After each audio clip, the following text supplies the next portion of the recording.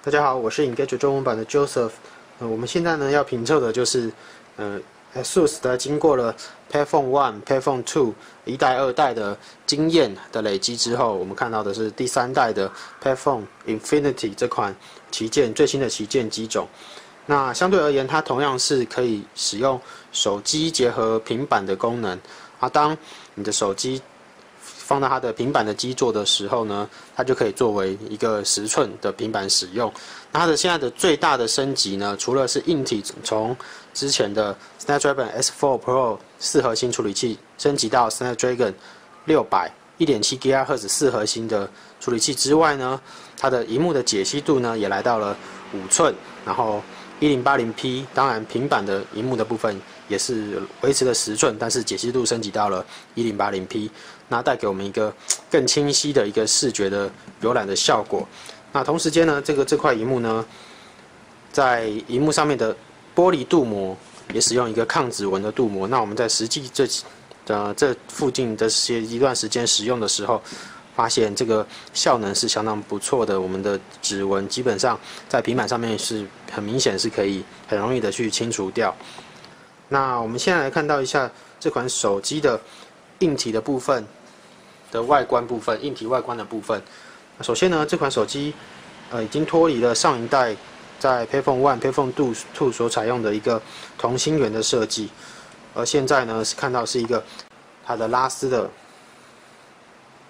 有一个拉丝的线条的处理。那我们看到这背面呢，呃，它是带有一些弧度的，那是方便你可以在抓取的时候，抓握的时候有一个更好的手感。基本上这个弧度不是很大，所以呢，我们看到它由于是用拉丝的整个拉丝面的一个金属的材质制成的，所以呢，似乎看起来是有点平一点。因为它背面没有太多的线条，那下面呢，除了一个 PayPhone 的 NFC 的晶片看在下面之外呢，下面这个就是它所谓的天线的部分。那此外，上面这边有一个一千两三百万画素的主相机，那旁边是一个 LED 灯。那基本上呢，这款手机呢，它在采用的机壳的设计是用所谓的有一种一体包覆的感觉的，所以我们看到，无论是侧面它的音量键、电源键、喇叭、扬声器，那基本上都是由背盖的金属所包覆。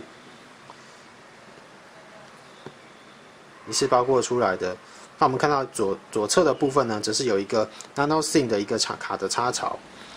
那由于还是为了收讯的需要呢，它在上下两个部分还是有了有用一些金塑胶的塑料的材质。那基本上它华硕已经把这一块的部分上下这个两块的塑胶材质已经藏得非常的不错了，所以结合密合度上面来说呢，也是非常的好。那我们看到下面这次的最大的改进的特点之一呢，也是它的一个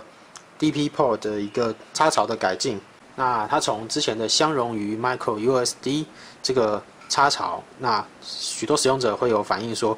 它用一般规格的 Micro USB 的充电器去插上的时候呢，会有一些松脱，容易松脱的感觉，或是没有那咬合的这么紧密。那这一次呢，华硕在 PayPhone Infinity 上面呢。它使用了一个是买 DB port 的一个规格，那基本上它就是完全相容于 Micro USB 的插座插槽。那所以我们看到呢，它在使用上面呢，我们在插入 Micro USB 的时候呢，是完全的咬合的非常的紧密的。而且当然，这个买 DB port 呢，它是相容于 Display port 的一个规格，所以我们可以透过一些呃厂官方他们所出的外接的转接器。来直接把这个买 DB port 直接转到成一般商用监视器、商用荧幕会使用的 Display port，或者是呃 HDM、HDMI 这些转接的输出、视讯输出。那基本上买 DB port 它的频宽呢也有提升，所以呢我们可以看到，就由于我们硬体效能的提升，还有荧幕解析度的提升，让这样的一个产品它的手机。结合平板之间的频宽的传输量也会增加，所以呢，它这个规格的升级也是相对来讲也是有道理的。整体部分呢，华硕并没有呃从 Google Android 四点一、四点零、四点一之后的一些 UI 上面的改良，它华硕并没有做太多的跟动，或者是放入太多自己的想法去调整它的结构。基本上一个大的架构上而言，都是维持了 Google 它对于 Android 四点零之后、四点一之后的一个设计的概念。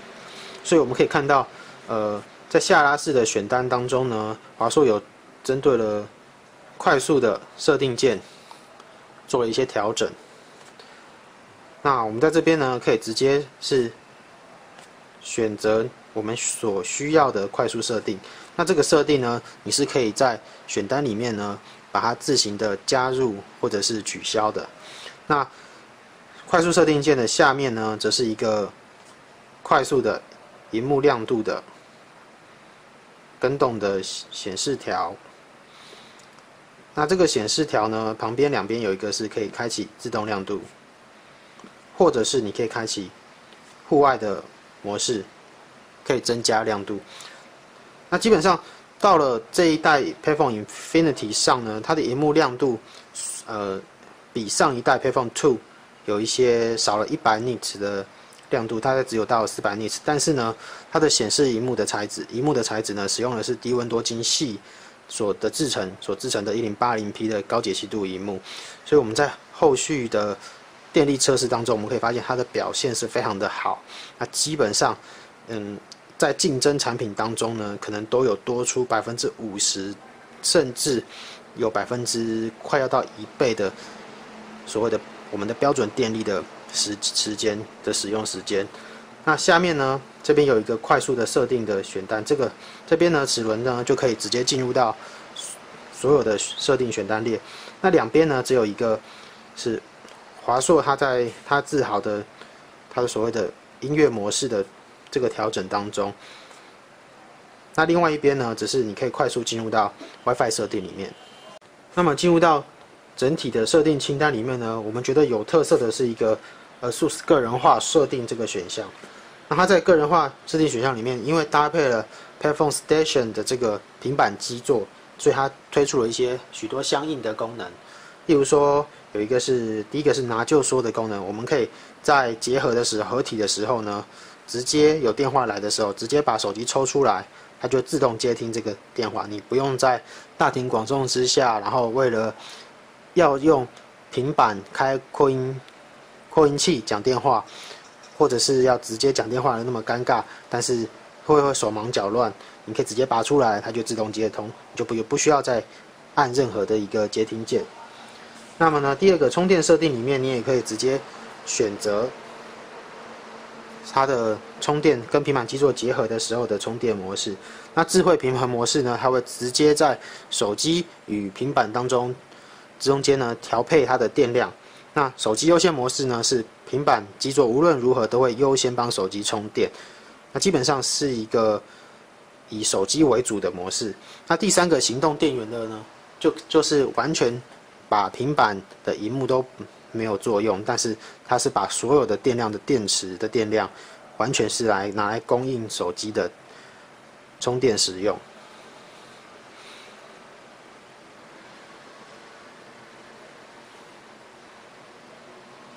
那接下来呢，我们可以看到一个是动态显示切换清单。那这个部分呢，就是华硕它为了要在你使用手机立即切换到平板的时候呢，有一个无缝式的转换而设计的。所以呃，你会看到这边选单里面会有一些选项，选择哪一些城市是要是可以直接无缝切换过去的。基本上这些城市大部分都是有限制的。嗯，你需要是大部分都是要内建的城市才有办法。那一般假如不支援的城市，第三方的的话，你插过去以后，基本上还是会重新关闭。那我们在这个手机转换平板的过程中，我们有发现，当你手机在使用了，呃，例如说已经开了几个城市之后，那它的多工列表里面会显示一些你之前开过的城市。基本上你插回去平板机座之后，这些列表都会洗掉。所以有一些你假如是正在做什么事情，而且是要转换过去，而且你没有办法你你知道你没有不需不能马上把它取清除的话，你马上就要转换过去使用的话，那建议你还是不要直接把它切换到平板基座上面去，要不然这个这部分的快速的选单部分会马上会被洗掉。那另外呢，这次的多工键有两个选项可以使用，一个就是长按为截图的功能，那另外一个是可以长按为选单。那长按为截图这很简单，因为呃，通常我们的长按截图都是要用一个电源键加音量键这个复合键来来完成。那长按为，那所以呢，它是直接可以用长按多功键来截图。而且呢，呃，虽然我们这一次看到了它是没有 Payphone Infinity，它是没有把设定键坐在虚拟键中间，是维持一个三键的设定。它基本上实。它的功能键呢，也是使用一个独立的电容式的按键来摆放。所以呢，有在其他手机上面，我们可能会看到有所谓的海苔条的情况出现。也就是说，在执行一些程式的时候，没有特殊调配调整过的程式的时候，你会在下面看到一一块黑色的区域，然后这个黑色区就占据你的城市的可视的空间。而这个长按为选单的这个功能呢，例如说我们在使用一些特定的城市的时候，例如说我们现在看到是台湾高铁的订票的 App 城市，那我们看到它的虚拟的按键会直接是一个可以调整的状态，而不是一个完整的占据画面空间的一个海苔条。所以，首先，假如你没有开启你你的多工键是设定的是长按为截图的话，它的功能的按键只会占据了画面的一小块，这是非常不错的一个调整。那假如呢，你开启了长按为设定选单的话，那这个按键基本上就会消失。那么虽然呢，呃，华硕它在 Payphone Infinity 上面呢，没有对所有整体的系统的界面有太多的跟动，但是它附所附属的一些应用程式跟软体呢，相对而言是蛮丰富的。首先呢，我们可以看到正面的气象的地方，它可以使用一个 AccuWeather 的一个功能，那里面整合了气象的设定，还有一些闹钟的设定，基本上准确度而言是不错的。那另外呢，华硕可以它也附赠了一些，例如说，呃，Su Studio，它是一个看图的城市。它可以除了依据照片来分类的话，也可以依据时间、地点或人物。那地点的上的话，它会直接跟 Google Map 结合。假如你的照片有开启了一个呃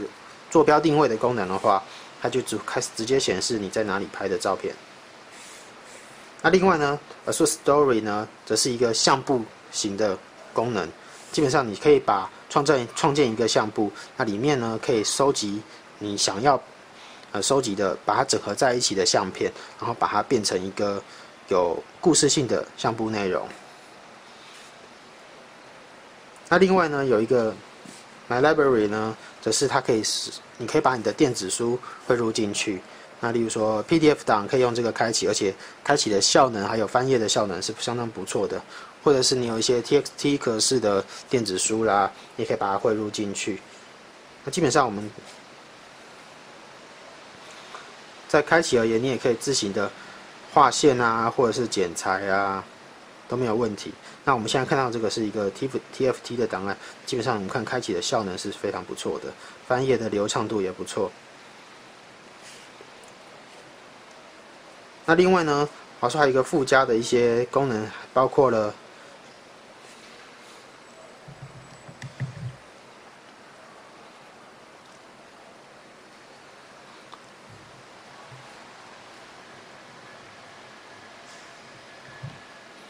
因为呢，还有一个是笔记的功能，叫做 Super Note 的功能。那这个功能之前在之前的平板、华硕的平板跟手机上面都是一个相当功能相当强大的记事本的程式软体哦。基本上它可以直接使用你的手写，或者是使用你的笔记，直接它把画为图像化，然后缩小在每一个方格里面。然后此外呢，它也可以直接整合进它的华硕的云端的储存空间。那基本上，你购买了 Payphone Infinity 的之后呢，它会附赠一个五十 g 大的储存空云端储存空间两年的时间。那但是呢，这个云端储存空间还有嗯，SuperNote 这个东西，这个软体呢，它是没有办法在其他的品牌的手机上应用的，所以，嗯，可能你假如有多个不同的装置切换，有华硕以外的装置切换的时候，这在共用的时候可能会多少造成一些困扰。那另外呢，华硕这次加入了一个叫做 ASUS Echo 的一个应用，它是属于一个语语音辨识、智慧型语音辨识的功能。因为呢，Google 在 Android 的系统里面呢，它对于语音辨识还有语音操控的中文的支持资源是是不够的，所以华硕它也加入了一个本比较本地化、面向嗯针对中文的使用者的功能。啊，例如说我们要可以直接输入打电话给什么人啊，或者是直接打拨打电话号码。例如说我们现在打电话号码，打电话号码八零零，它就会直接。基本上我们可以看到它的语音的辨识的正确度是相当的不错的。基本上，除了我们刚刚介绍的一些应用软体，还有呃所谓的声控的功能，你可能现在已经有一些替代用、替代的方案了，或者是一些正在使用而且通用性更好的方案。那华硕呢，它一从之前跟 g a m i 签约到现在，它的唯现在的一个杀手锏的软体呢，还是所谓的它的导航的城市。那这个导航程式呢？我们开启之后，可以发现跟 Garmin 的车机基本上是界面上是完全一模一样的，而且我们可以看到它的效能，在经过那么多代的调调整之后呢，是非常的好。所以，假如你是习惯使用一个 Garmin 的导航程式的话，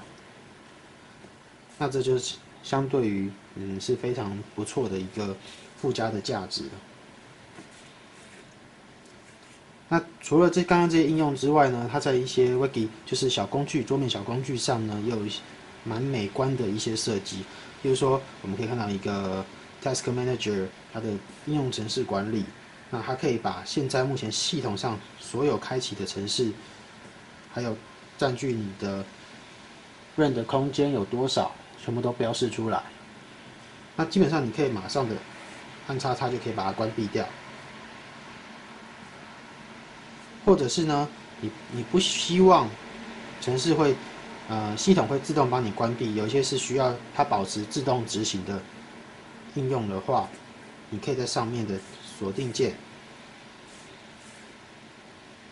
把它锁定。那这样子呢，系统或者是你按全部关闭的时候，都不会影响到这些的城市的一些删除，它依然可以保留自动执行的。那另外呢，还有一个 Body Boost 的功能，基本上它就是一个整合了社群资源的一个城市。那和一般我们看到的一些整合的城市也差不多。那但是我们觉得它现在所设计的华硕所设计的一些 Body 是蛮美观的。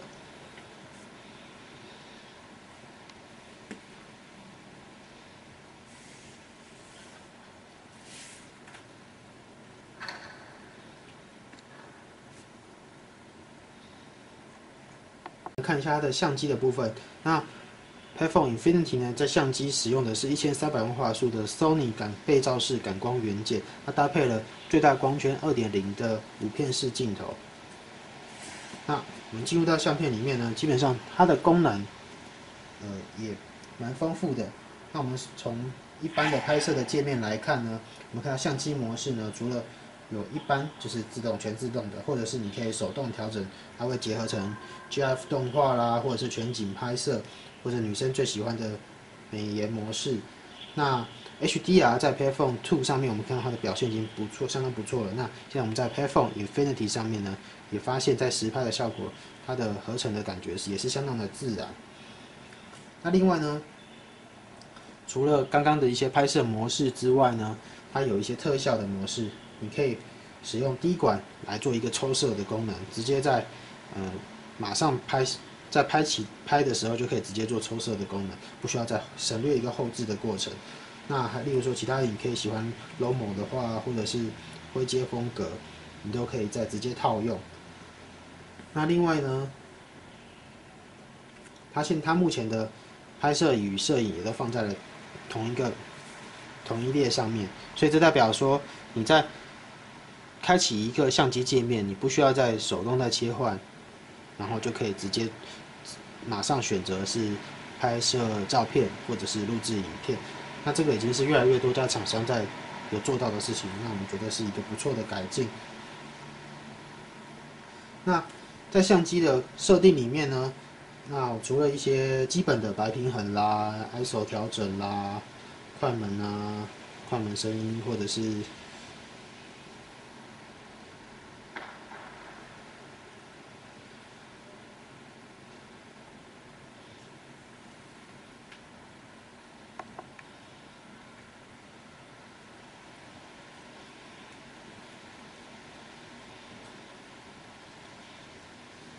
那除了一些拍摄的模式啦，或者是一些功能、颜色的功能、后置调整的功能之外呢，我们来看一下相机的设定部分。那除了一般都有的白平衡、ISO 或者是快门的使用方式，还有关闭快门声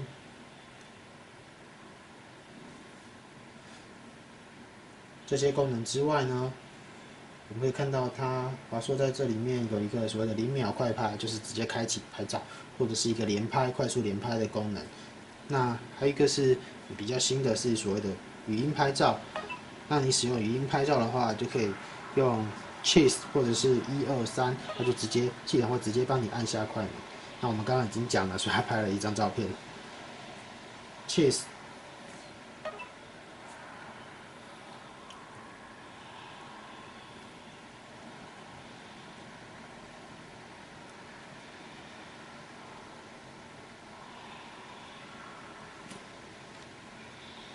总结而言呢，我们认为